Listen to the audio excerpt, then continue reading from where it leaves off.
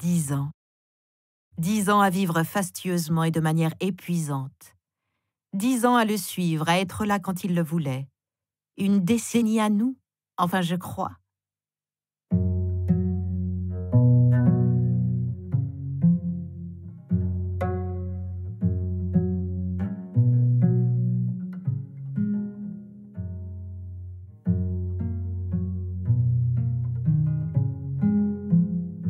Et profiter malgré tout, regarder au loin, pour toujours laisser à penser qu'il n'y avait rien d'extraordinaire, rien d'extraordinaire à être femme mariée et appelée dans le lit du roi, sous les yeux de son mari.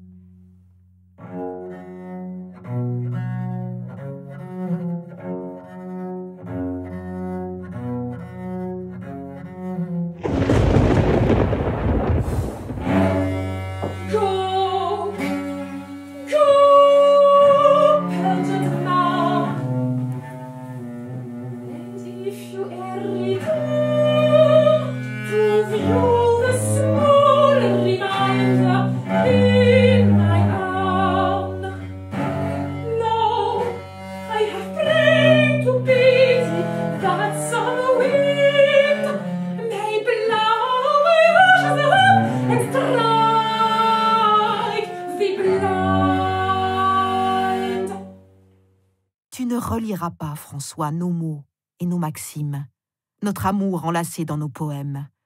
Non, tout cela a fondu dans la fusion des flammes. Tu ne pourras plus penser à moi en les lisant. Tu ne pourras plus te remémorer nos étreintes. Tout est détruit. Tout sera oublié. Souffre et peine, François, comme je souffre et peine.